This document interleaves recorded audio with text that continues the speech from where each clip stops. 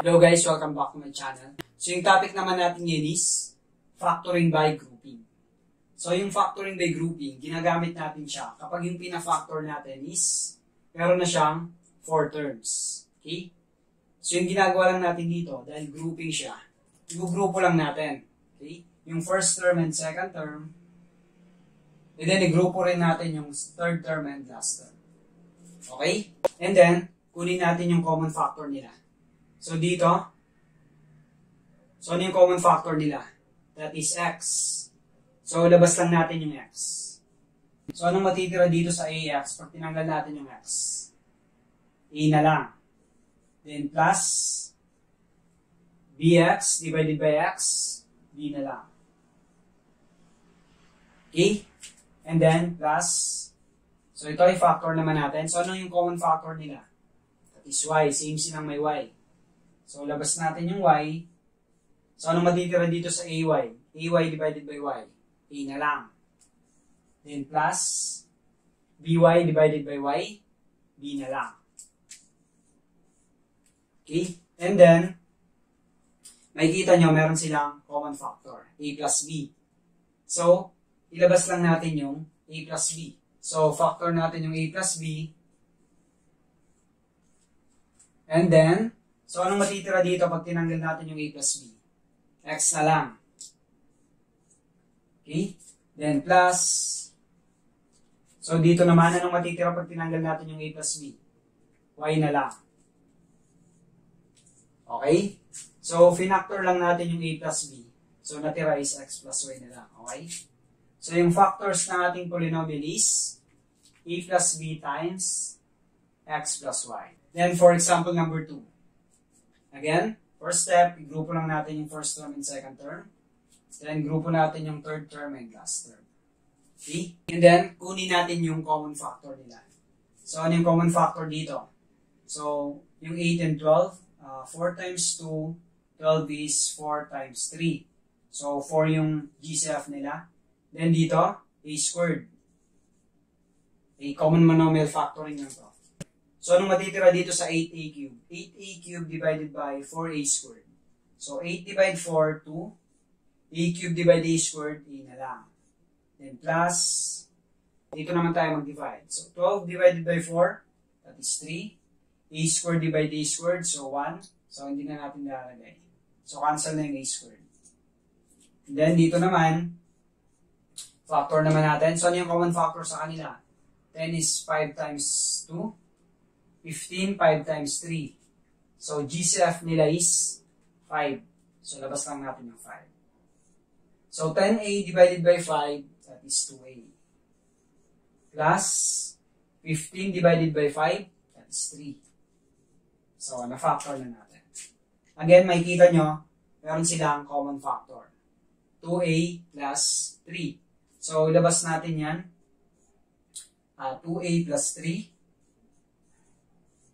So, ano matitira dito pag tinanggal natin yung 2a plus 3? 4a squared na lang. Then plus, so dito anong matitira pag tinanggal natin yung 2a plus 3? 5 na lang. Okay? So, finactor lang natin itong 2a plus 3. So, matitira is 4a squared plus 5. Okay? For example number 3, factor m squared a minus m squared n squared plus ab minus bn squared. So, grouping. So, first step, grupo natin yung first term and second term. Then, yung third term and last term. So, next step, uh, kunin natin yung common factor nila. So, that is m squared. Same silang may m squared. So, labas natin yung m squared. So, anong matitira dito? A na lang. Minus, dito, tanggalin natin yung m squared. n squared na lang. Okay, so finactor lang natin yung m squared sa kanila. Then plus, dito, anong common factor nila? That is b. Okay, same silang may b. So labas lang natin si b. So anong matitira dito sa ab? a na lang. Then minus, dito sa b n squared. n squared na lang. Okay? So, tinanggal lang natin yung b. Factoring. Common monomial factoring. And then, makikita natin may common factor na sila. That is a minus n squared. So, ilabas lang natin yung a minus n squared. And then, anong matitira dito? Pag tinanggal natin yung a minus n squared. m squared na lang, okay? Then plus, dito anong matitira pag tinanggal natin yung a minus n squared? b na lang. Okay? So, finactor lang natin yung a minus n squared. So, natira na lang is m squared plus b. So, ito na yung final answer natin. So, grouping again. So, grupo lang natin si first term and second term. Na dito, pag negative siya, so hindi ka pwedeng diretso lang na maglagay ng parenthesis dyan, okay? Mali yun. Kasi negative. So, yung gagawin natin dito, so ilalabas natin yung negative sa negative 24x plus 8. Okay, so ilalabas natin tong negative. Magiging positive yung 24x. And then ito, magiging negative siya. Okay? So, ibig sabihin, pag lalagyan natin to ng parenthesis, magiging negative to. Okay? Kasi pag dinistribute mo yan, ito yung makukuha natin sagot. Okay? So now, nagrupo na natin. Next step, uh, kunin natin yung common factor. Common monomial factoring. So, 18 and 6. So, anong GCF nila? That is 6. And then, x cubed and x squared. So, x squared yung uh, GCF nila. Yung may lowest exponent lang. And then, anong matitira? 18x cubed divided by 6x squared. 18 divided 6, that's 3. x cubed divided x squared. x na lang. And minus 6x squared divided by 6x squared. That is 1. And then minus, dito, ano yung common factor nila? That is 8. So, labas natin yung 8. 24 divided 8. That is 3.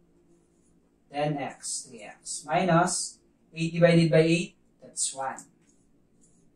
So, and then, common factor nila, 3x minus 1. So, ilabas lang natin si 3x minus 1. Okay? So, ano matitira dito pag tinanggal natin yung 3x minus 1?